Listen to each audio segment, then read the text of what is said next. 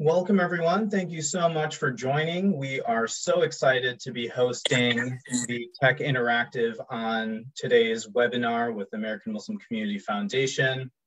My name is Muhi Khwaja, and I am the co-founder of American Muslim Community Foundation.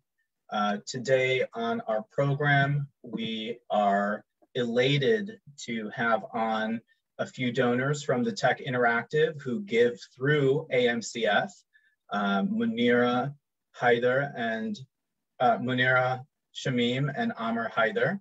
Uh, we also have on Michelle Maranowski, who is the curator and exhibit developer at the Tech and the president and CEO of the Tech Interactive as well.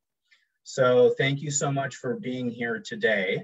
Um, we we'll be going into uh, sharing a little bit more about the Tech Interactive and American Muslim Community Foundation.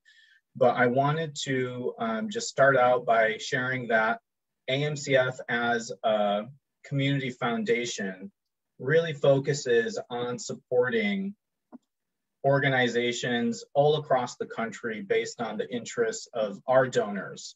Um, and our donors are giving through their faith identity of being Muslims and want to connect with local and national organizations right in their backyard that are creating impact all across the country, whether it's for basic needs or their alma mater or for education and kids programs. The Muslim community cares just as much about these American institutions as much as our own faith-based institutions as well. Um, so I've had the honor of knowing Munira and Amr for over a decade, uh, and they've really been part of every nonprofit organization that I've been blessed to be part of in my nonprofit journey. So I know that Amr and Munira are very kind and generous and committed to the philanthropic landscape of American institutions. Um, and it's fantastic to see that they've been supporting the Tech Interactive for many years as well. So at this moment, I would like to pass it over to Amr and Munira. Welcome. Thank you, Muhi. Thanks, Muhi. So, um, shall I get started? Yeah, why don't you start? All right. So, uh, the tech has a very special place in our heart, you know, and uh, you know uh, all the folks working for the tech. Thank you all for your service. I mean, you know, when I came to the Valley 20 years ago, it's one of the first places I visited uh, as a young engineer, and was excited to see. You know, it's it's an icon in, in the landscape of uh, iconic building in the landscape of Silicon Valley. So, and then when we had kids, um, it was even more special because there's so many awesome programs at the tech for kids and a place to take kids. Our journey is not only just being a techie and being involved in Silicon Valley, but uh, the tech also has a very special place uh, for us because uh, way back in 2011, the tech had a, a uh, traveling exhibit called the Islamic Sciences Rediscovered exhibit. And I was very excited when I heard this, and I said to all our friends, we're going to get these tickets and go there. But then there was some confusion that maybe the tech is going to pull that exhibit because there was a lot of hate mail uh, that came from the community to the tech saying, why are you showing uh, this uh, Islamic sciences? You know, what's the point? And of course, it's fact-based. Uh, you know, Islam has a lot of contribution towards science. But, you know, the, the tech really stood. there you go the, the tech really uh, stood its ground and said, look, this is something that uh, is fact based. We've committed to it and we're going to see it through. So the tech actually put together uh, a whole program uh, to engage the community uh, by bringing in uh, different scholars and um, inviting the larger community to come and really hear firsthand from from uh, Muslims and from technologists and historians. And I was, you know, they brought in folks like Reza Aslan, who's a, who's a writer, and, and some other uh, key, Wajahat Ali, who's another speaker. And uh, that's how our relationship started. So we're super committed to the tech, and it's, and its views and and the leadership. So thanks guys for for what you what you all do. And of course we visit Briarcore every year. We'd watch the IMAX and we'd go see the kids stuff and we did the 3D printing stuff. So uh, so we're very excited for all the work you do. So Amr, there's part two to this story. Yes, that is. our, our relationship with the tech became even more special when uh, fast forward one or two years from this incident of the 2011 Islamic Sciences Revisited exhibit, uh, we reached out to the tech for support for one of our causes. Uh, Amir and I have initiated a foundation to support research around uh, achondroplasia, which is a genetic condition. Our son is affected by it. And we were looking to do our own awareness event. Um, and we, we just, we wanted to be in a kind of space that would be science inspired and where our scientists who are our guest speakers would also, you know, just really, you know, thrive in a, in a place that spoke to their, uh, uh, their work. And at that time, we reached out to the tech uh, for support, um, very heartening response. They, they gave us the huge uh, meeting room that's right next to the ticket counters on the first floor that seats a couple hundred people at a tremendously discounted rate. Each one of our guests got a free ticket to visit the museum. And, you know, fast forward 11 years, our, our relationship with the tech is still going strong as it did um, back in the day. Um, over the years, we have learned that the tech is more than just brick and mortar, and it's more than the sum of its parts, the, the, uh, the parts that meet the eye. Uh, the tech offers a lot of programs beyond its walls to Title I schools. Uh, the tech showed amazing resilience in the past one year when we were all sheltering in place. And, you know, to my knowledge, they've been um, reaching out to schools and, you know, sending kits for science uh, experiments and science scientific learning. So I've just seen the tech really uh, change, evolve, and meet, meet the challenges of the times over the years. And for, for that, I am just um, I almost feel that if, if I didn't contribute to their journey, the loss would be mine. You've said it so eloquently, Munira and Amr, and really want to, you know, share my appreciation for all of the fantastic work that you've done and have been able to uplift through AMCF. And, you know, you were the first family that opened a donor advised fund with AMCF. So, you know, you guys are pioneers and see the need in the community. Um, and just watching your support grow for so many institutions across the country um, has been really inspiring. So, thank you so much for all of the fantastic work uh, that you continue to do, and especially in your support of the Tech Interactive. Thanks, everyone. Thanks. Muhi, I, I wonder if I may have a moment, just a quick moment. Yeah, definitely. So, you know, introducing Michelle Maranowski. She is, again, the curator and exhibit developer at the Tech. Welcome, Michelle. Thank you. I, I thank you so much. I, I just wanted to add a few um, comments to Amr and um, Munira's comments about uh, the exhibition Islamic Sciences Rediscovered. Uh, so I have been on staff at the tech for over eight years. But uh, prior to that, I would come and visit the tech just as a, you know, a, a community member. And I very clearly remember my visit to Islamic Sciences Rediscovered and how um, how it opened my eyes to a whole um, area of sciences that I was not aware of. Um, there were uh, things in there that I that I just found so beautiful and wondrous, like the idea of a like the water clock. I, I, and at that time, I was making my own water clock, believe it or not. Um, the idea of um, the uh, medical um, the medical implements. I very clearly remember the scalpel that was uh, developed by an, um, a, a, Muslim uh, physician to do eye surgery. And the design of that uh, implement has not changed over the many, many, many hundreds of years. You know, like it was such an efficient tool and so well designed and built that we still use it today.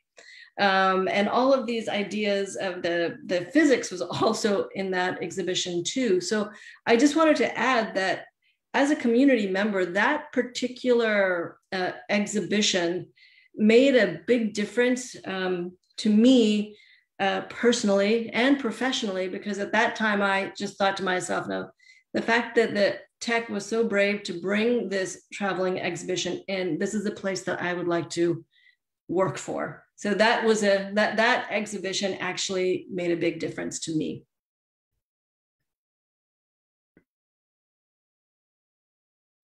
Thank you so much for sharing that, Michelle. Um, you know, I believe that values matter a lot. And the fact that the Tech Interactive at that time decided that they were not going to uh, give in to the rhetoric that the community was uh, sharing speaks volumes of the leadership and the integrity of the institution.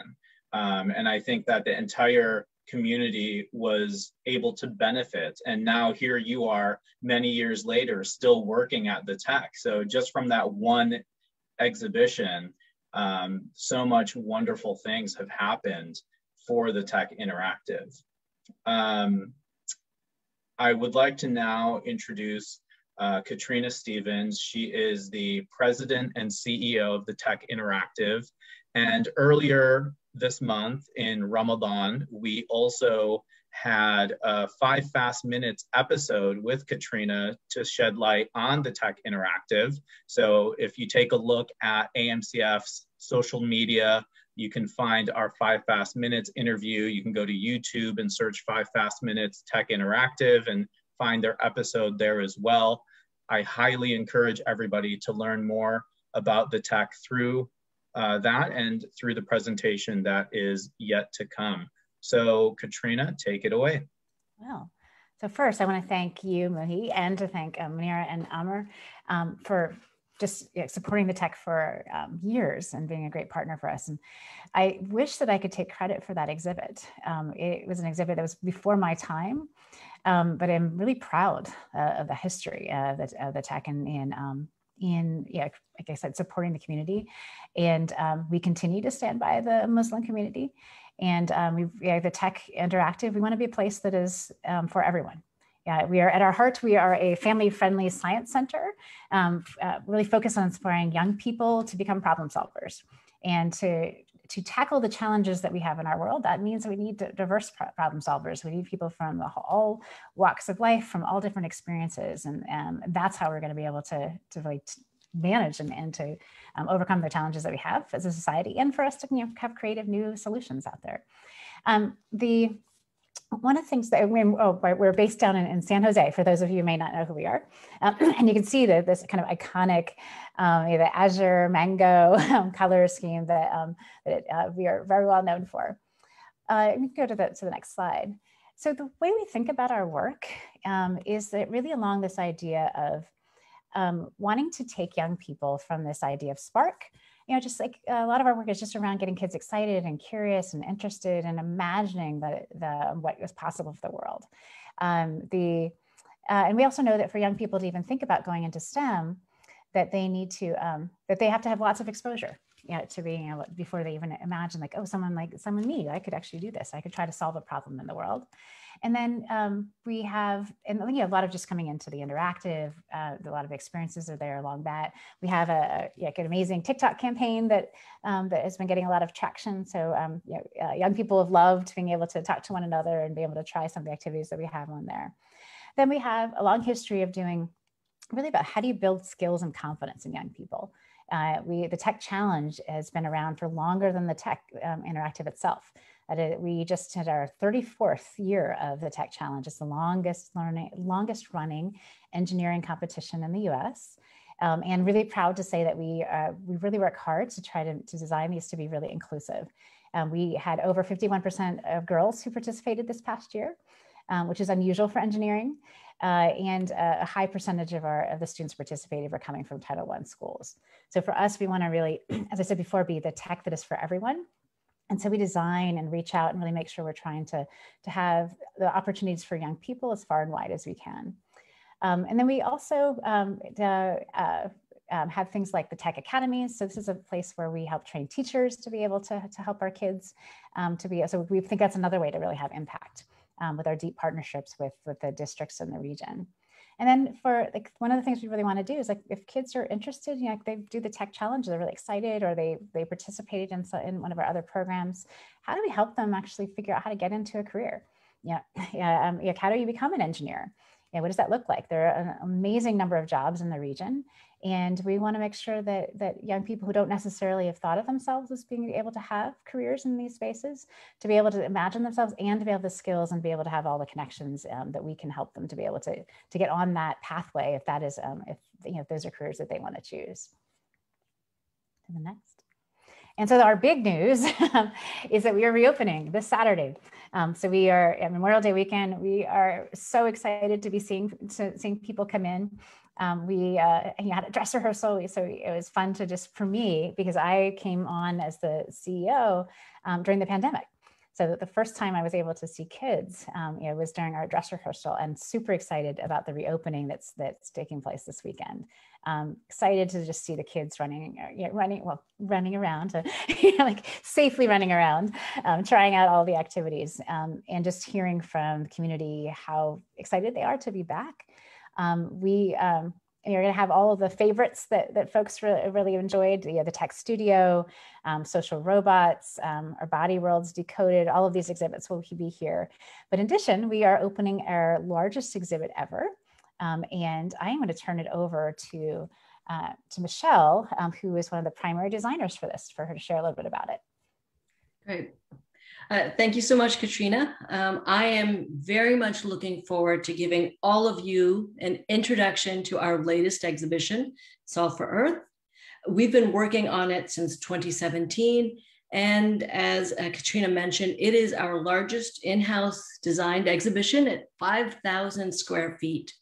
With Solve for Earth, we aim to inspire hope and provoke action around sustainability. The goals of the exhibition are, are three. Uh, number one, to seed conversations, and for those conversations to move outside the walls of the interactive, to, to support problem solving, uh, and to move away from passivity towards systems thinking and action. Solve for Earth, we've designed 20 separate exhibits uh, exploring transportation, energy, water, food, biodiversity. Uh, there are several themes that we've incorporated. Uh, here are a few. Uh, the connectedness of our living systems, uh, looking at the trade-offs involved in the choices we make, uh, and then the looking at the impact of our individual and collective choices. Next slide, please.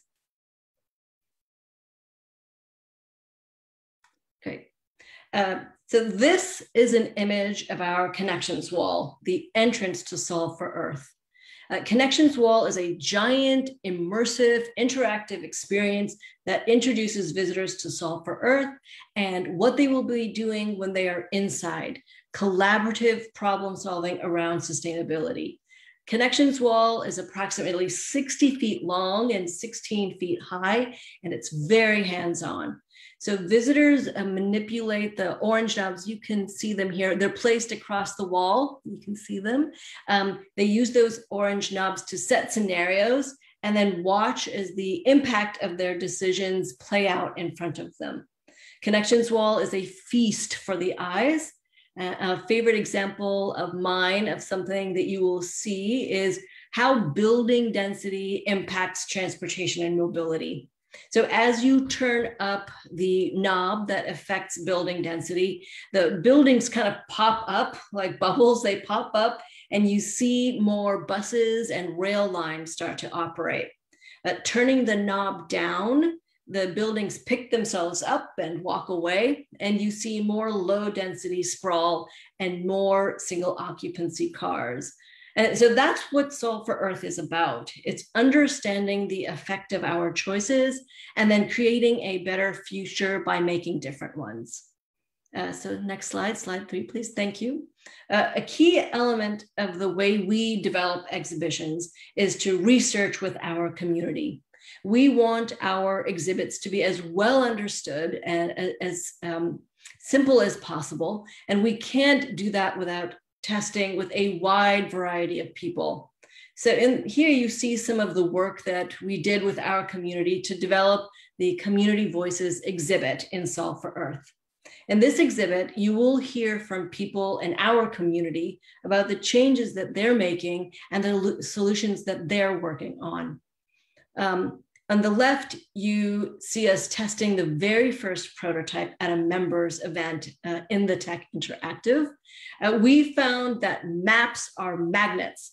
And during this particular session, we had visitors chatting with each other, uh, chatting with us, and we collected all of that feedback. Um, and the upper image, the image above, um, is our third prototype with a variety of pucks. And then below that is the prototype closest to what we have on the floor now. All of that has been informed by our community. A slide floor, please. Thank you. Um, in this exhibit, Pick and Choose, we examine the environmental impact of our food choices. The task is to build a burrito from start to finish. And with every addition to your burrito, we share the environmental impact of that decision with you. Our jobs as exhibit designers is to convey content as efficiently and as simply as possible. With the first prototype of Pick and Choose, we started uh, essentially with an empty plate um, and you know making meals with that empty plate. Um, but we found that not everyone was familiar with the idea of planning a balanced meal. In fact, kids usually don't plan meals. I know this as a mother. That meant that kids uh, could get stuck on that concept rather than learning about food and sustainability. So through testing, we learned that we could reduce the barrier to understanding by narrowing down the choices and presenting the options in a Chipotle cafe style experience. Um, this improvement allowed us to quickly move to the point of the exhibit, which is to explain that there is an environmental impact to our food choices. So that is a very quick introduction to our newest exhibition, Solve for Earth. Uh, thank you so much for your attention. And I really, really look forward to seeing you at the tech and meeting all of you at the tech. Uh, Katrina, back to you, please. Thanks, Michelle.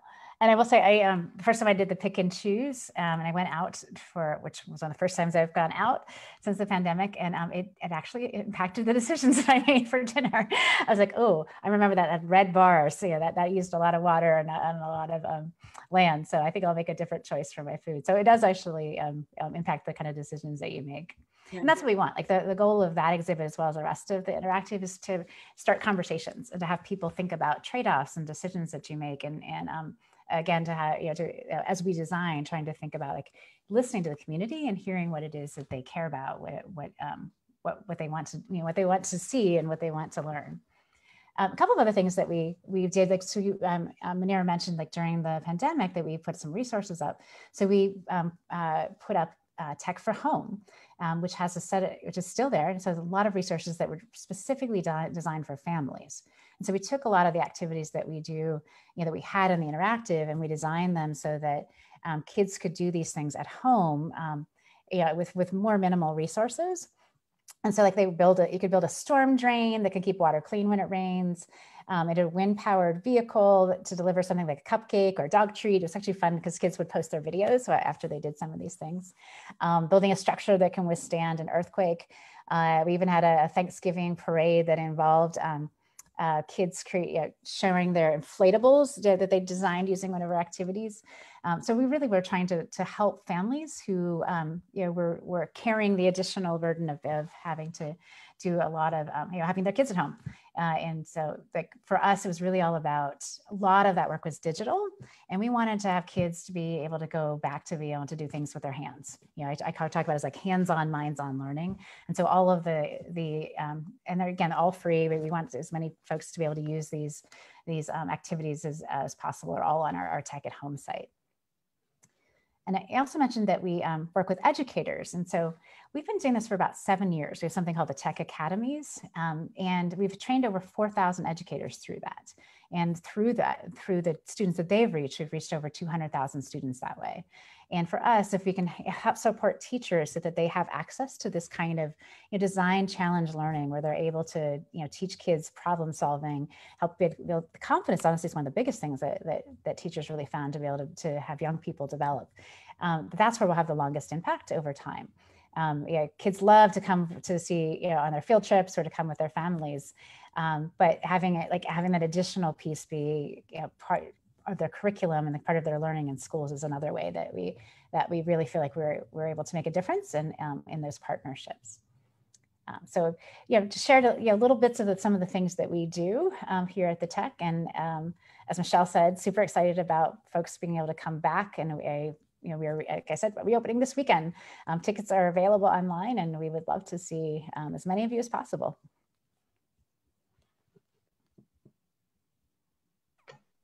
Fantastic. Um, so at this point, um, you know, Katrina, as the president and CEO, and you know, the one who kind of helps steer a lot of the um, decisions and the strategy at the tech.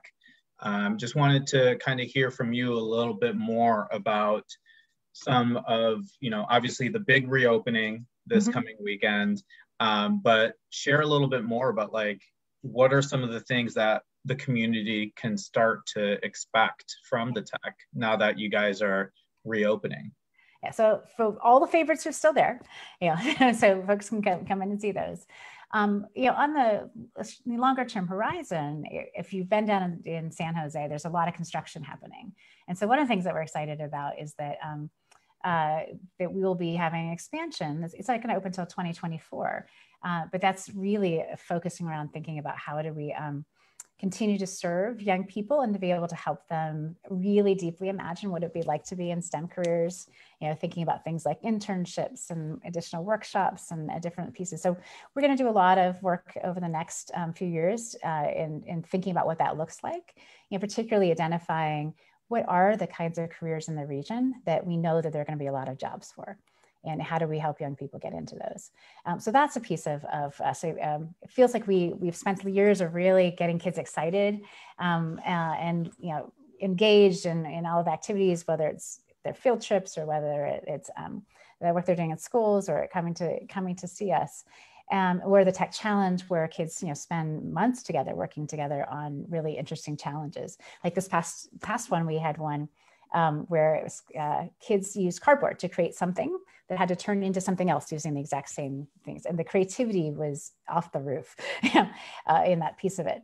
But you know then so we get kids that are super excited and we want to be able to help make sure that we close the loop and be able to help them be able to get to uh, and say like hey you know you're really good at this uh, you've ever thought about becoming an engineer or thought about a data science or going to biotech or being a social entrepreneur. Um, and so that's those are places that we're going to continue to, to explore. Um, uh, while again, you know, continuing to, to keep what we're doing moving forward. I, I, think the other place that we're really leaning in, we've had a long history of um, really thinking about how do we design with the community, and we're going to go even deeper on that. Like, so we are, particularly as we think about designing this new space, you know, I want kids part of those conversations. I want different, like they can, again, kids are pretty amazing.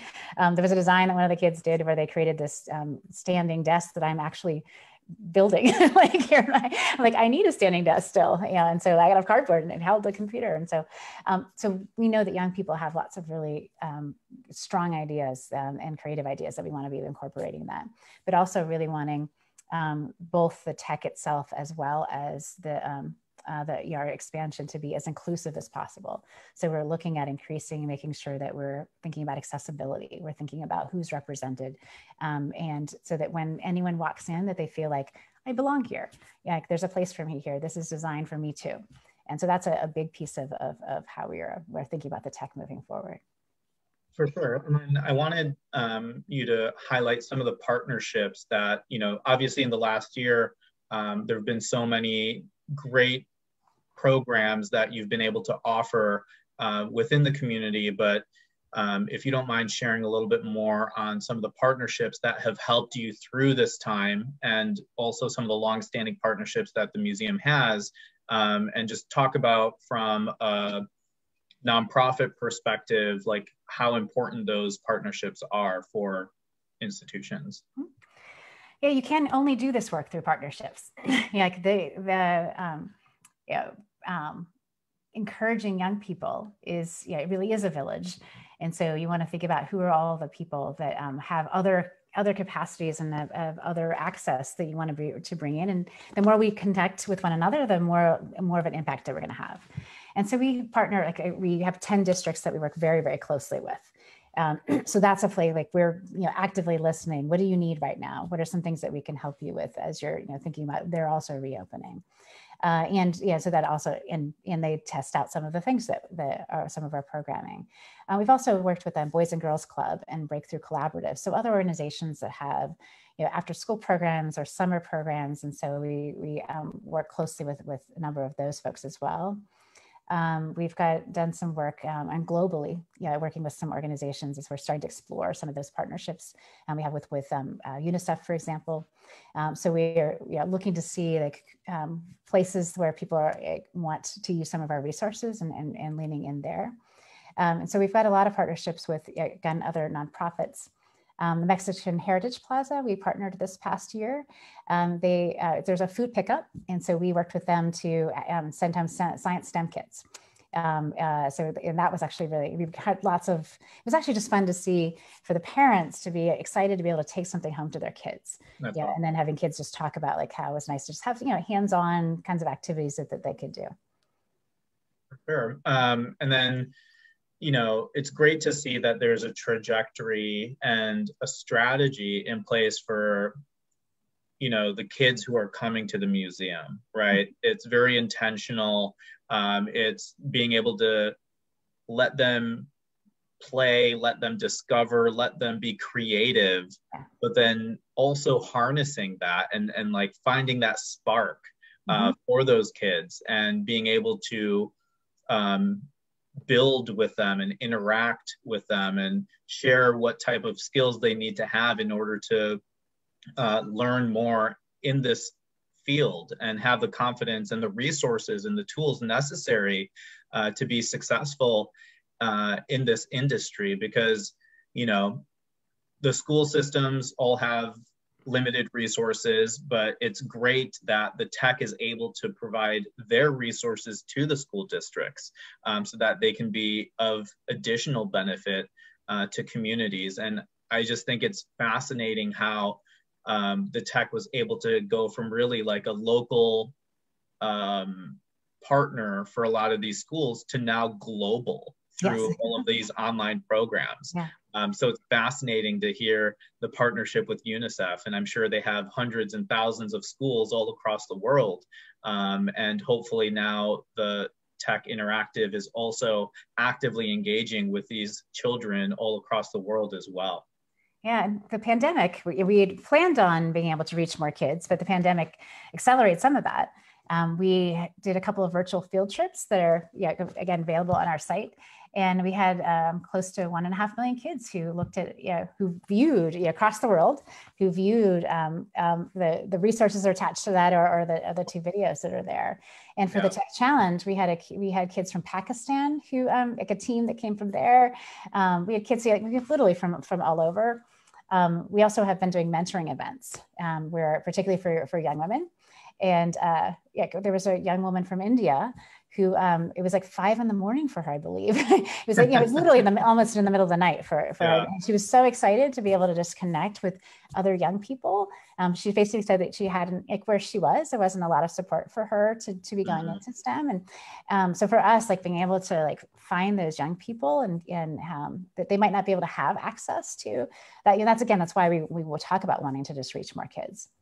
For sure. Yeah. I think, you know, nonprofit organizations like um, Girls Who Code or Code mm-hmm. Her and all of these other fantastic nonprofits um, really provide complementary services to the tech. And, um, you know, as you're talking about partnerships, those are a few that come to mind that just also do fantastic work. And, um, you know, in terms of, you know, what do you feel again is on the horizon? You talked about like the construction happening and like other things, but um, you know, where where are you going? Where is the tech excited about um, in the in this next year?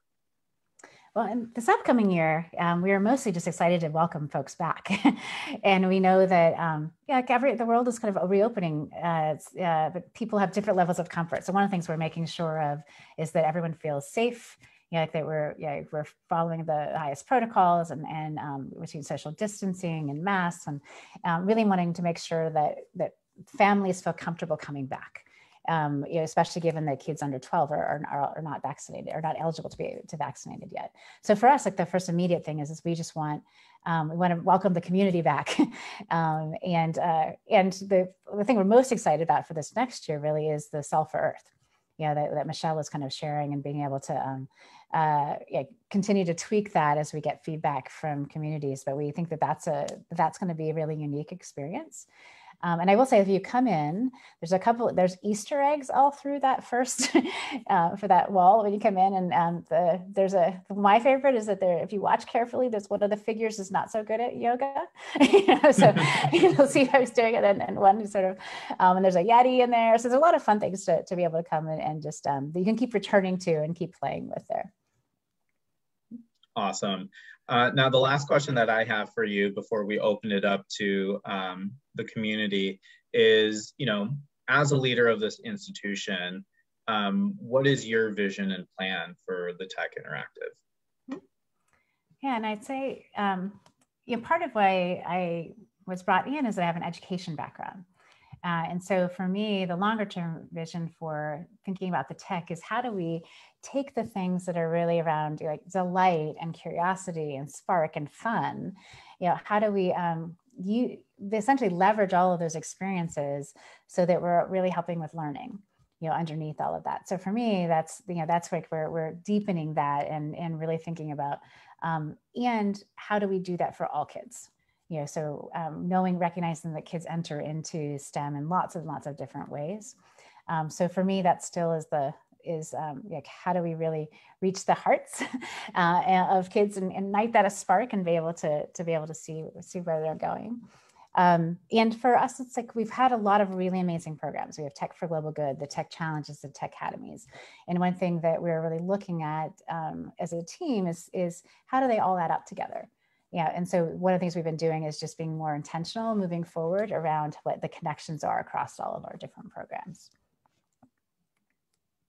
Great. Um, you know, one thing I wanted to bring up as well um, is American Muslim Community Foundation. You know, we have donor advised funds, and um, you know, we have over 130 families that are participating uh, in those. But we also operate giving circles, and we manage eight of them. Mm-hmm. Um, the newest one is an American Muslim Women's Giving Circle. It's with women all across the country uh, who are giving $420 together, and they've collected about $17,000 as of yesterday.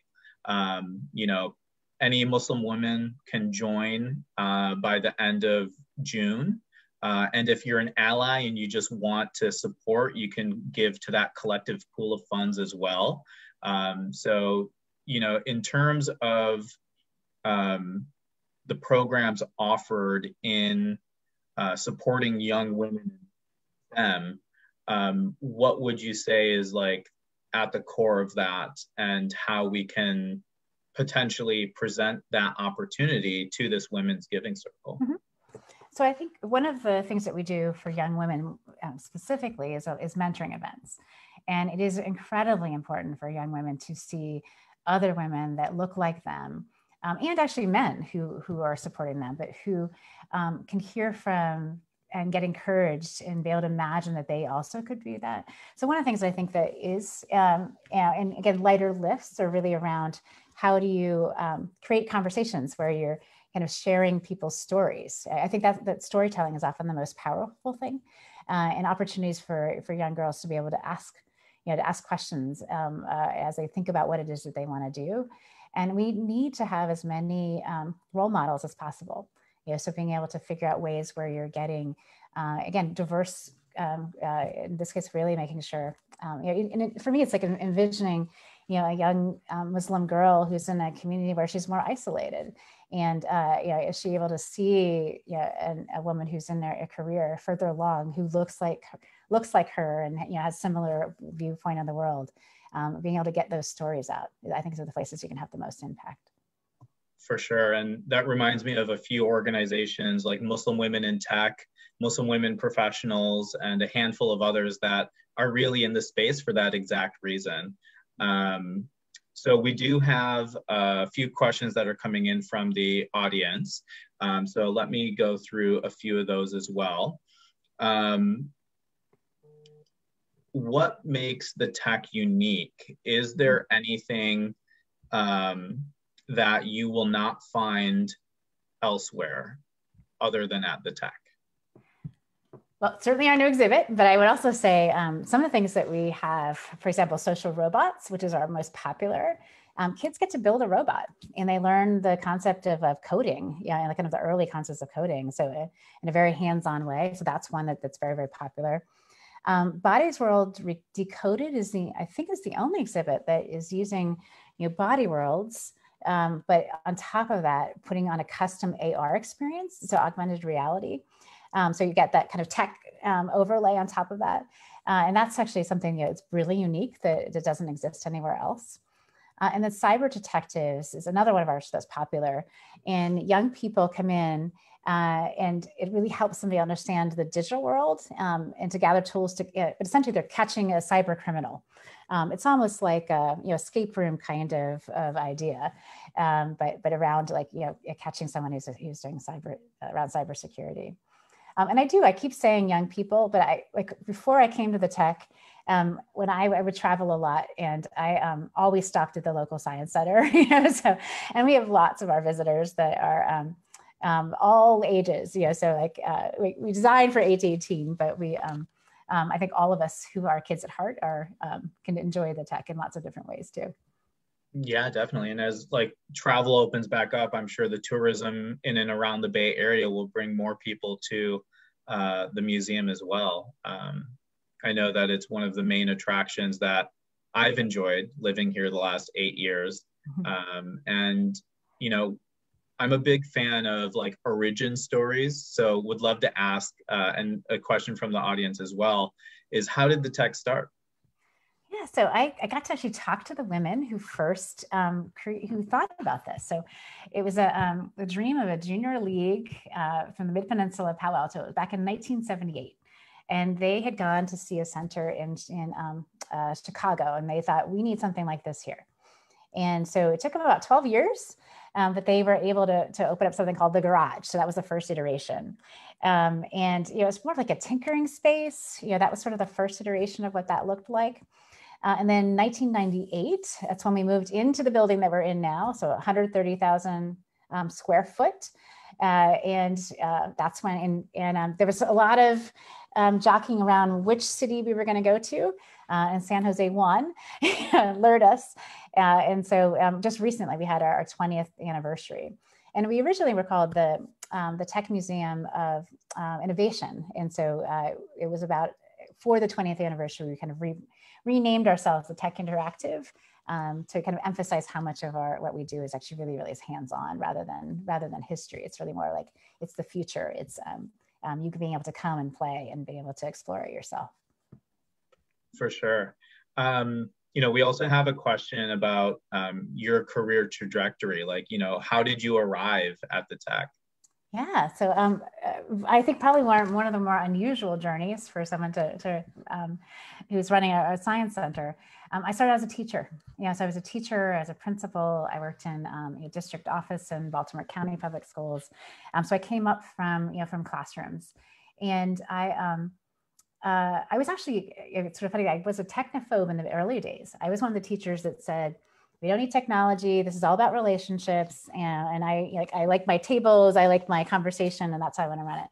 Um, I um, went to Bermuda for three years, and while I was there, I realized that um, I the only way I could access a lot of the resources and the experts that I wanted was using you know using the web. It was really be able to you know doing using digital learning to be able to. Um, now we're much more set up, but to be able to like have somebody zoom in and um, that kind of opened my eyes to the fact that tech could really be an opportunity um, to like help kids who are in rural areas. Um, Uh, and so that kind of changed how I thought about things. And I ended up starting an ed tech company. Um, and then um, that led me into a journey where I ended up being the director for the um, Office of Ed Tech during the Obama administration. And then um, you know, still was you know in the space wow. and I kept my whole goal was always around how do I get educators talking to to students and, and to people who develop and make tools for us and then it then it was like how do I get policymakers to be part of that conversation and then I went to the Chan Zuckerberg initiative and that's where I was really funding projects that were around how do I bring that community voice in you know, how do we make sure that um, that um, everyone who should be involved uh, and those people who are closest to kids and families um, that they were part of those conversations and so coming to the, and I've always loved um, science centers. I have 22 nieces and nephews. And so um, I, that was my favorite thing to do uh, when they would come visit as I would take them to science centers or as I traveled, I would invite them to come with me. And um, I saw, you know, the tech, the a mix of all of things, you know, it's like the, the wonder and all the excitement and joy of, you know, of learning. Um, but in you know, that kind of that missing piece of the informal learning, you know, so, and how do we connect all of those pieces so that we, we create a, um, a story for young people that they, you know, that, that all of the parts, pieces of their lives are actually connected together. So it was kind of a, a more unusual journey for, for me landing here, but I am thrilled to be here. Yeah, I'm glad that you're there as well. Somebody with that passion for science and museums and tech um, really seems like a great role for you. Um, you know, just a reminder if you are watching along, uh, feel free to drop a question in the comments. Um, I do see one more as well.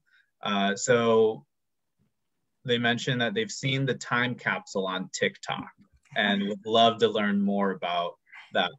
Yeah, so this this really took off. Um, there was a time capsule that was you know put together in 19 when we you know, when the building opened, uh, and to be open in 2020. Um, but it actually was lost for a while and no one could find it. But finally, a volunteer had a digital copy. And so we were able to get a copy of all the videos that were created from them. Uh, and essentially, people were making, making predictions about what 2020 was going to be like. And um, you know, some of them were really accurate. They were um, kids um, wearing essentially like you know uh, little computers like Dick Clark kind of um, uh, yeah or sorry Dick Tracy like yeah. watches and uh-huh. um, you know kids learning on computers. So, so, a lot of these things were actually quite true. Um, there was a, a, a, one of the mayors who said that um, you know 2020 was to be the best year ever.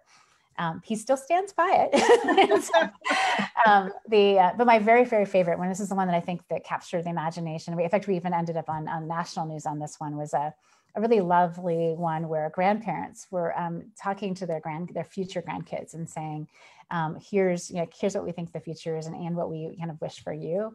Um, and we really? had a tape of us, like the the grandkids actually listening to the, the grandparents who are no longer with us. Wow, uh, that was like everybody was in tears, you know, yeah, for for, uh, for quite some time, but but it's fun, and we and if um, we you know people were so enamored and so engaged with it that we created a um, yeah, kind of a kit. So if you want to to create your own um, time capsule, we have a blog post that's uh, that's on our um, uh, Tech at Home site that gives you kind of you know, inspiration for how you might want to do that yourselves. Yeah, you know, I was just thinking, you know, you mentioned you started out as a teacher, mm-hmm. um, and this pandemic has affected everyone, um, and especially like students, schools, educators you know, what are your thoughts on helping kids recover from that pandemic learning loss? Or if there is a gap, like, you know, would love to hear your perspective as an educator on this. Yeah, and you know, there's lots of conversations right now about learning loss. And so, one, I think we can reframe some of that conversation in that um, for some kids actually they they this worked for them. Like some kids were able to really soar and and, and right. to be able so right. some kids it was. Um, the what i worry about is that often happens uh, is that kids um, will end up being in you know doing lots of remediation this summer. Uh, and uh, what kids really need right now is they need to like they've had a really really hard year um, and all kinds of levels you know being more socially isolated you know not having the level of um, um, just a general like it's you know, it's been anxiety creating of what's happening in the world. And so young people like I, i'm encouraging folks to like to um, still do like you know we we kind of sneak in the learning you know for the fun activities but you, but it's time for kids to get outside it's time for them to be um, being active. It's time for them to be um, doing hands-on kinds of learning. Um, it's not time for them to be sitting in front of laptops doing lots of remediation or lots of worksheets. Um, right now, it's time to kind of recapture the love of learning. You know, make sure that's in place so that when when the kids go back in the fall, that they're um, you know that they're more ready you know, for that piece. But that, that's how my that's my take on, on what, what I think parents should be thinking about this summer. For sure, yeah, I think you know a lot of silver linings um, and you know not one method works for all so really hoping that this time has been able to help those who maybe struggle in a traditional school setting, um, but then also that others who uh, blossom in that setting still had the resources that they needed. Um, so thank you so much for sharing that. Um, you know, I think this is a, a, great place to wrap up the conversation. Um, so again, like thank you so much to uh, Munira and Amr for joining and being part of uh, this discussion. Um, I hope that their story helps inspire those watching to um, learn about the Tech Interactive, visit the Tech Interactive, uh, volunteer, contribute, uh, and just be engaged. Um, so, you know, thank you, Michelle, for sharing more on the exhibits. And a big thank you to Katrina as well. Um, so thank you all so much for joining. Thanks for having us. Of course. Take care.